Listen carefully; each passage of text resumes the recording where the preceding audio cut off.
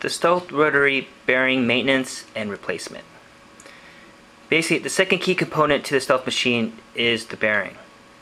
The bearing from time to time after long use will need to be tightened down. Basically, it's kind of like your tattoo machine contact screw. It just needs to be tightened, that's it.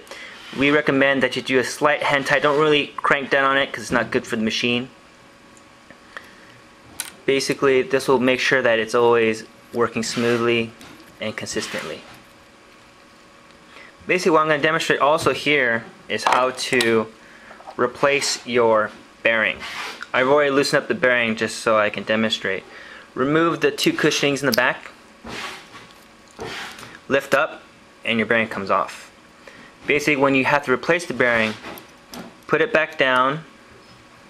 One key thing is make sure that it is parallel with the frame. You don't want it being up too high or too low.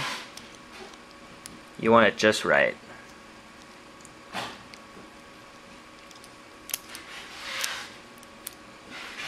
Put the cushionings back on.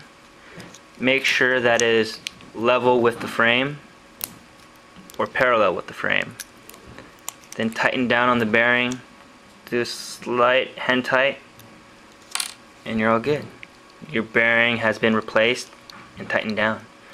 Also, kind of like your skateboard bearing, from time to time we recommend that you use a little motor oil to keep it running smoothly.